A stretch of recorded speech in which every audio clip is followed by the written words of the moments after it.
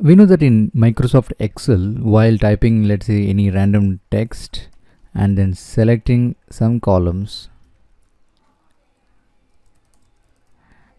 once you hit the keyboard shortcut Control Enter, it automatically fills the selected range with even if you're in the editing mode. Let's say I'm editing over here and I still hit the Control Enter, it updates all the cells. However, the same thing doesn't happen with Google Sheets. And here's what exactly what uh, uh, we need to remember while doing this next time. So let's say I'm on the editing mode here or one second. Let's say I'm having this range that I want the text to be copied and I'm still on my editing mode.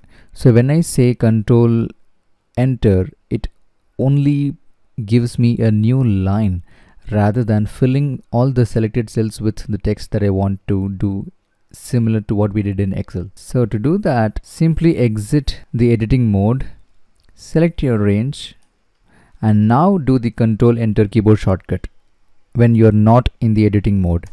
And it works the same as how it does in Excel. That's it. I hope this answered your question. I'll see you again in another video. Until then, you take care. Thanks for watching. Bye.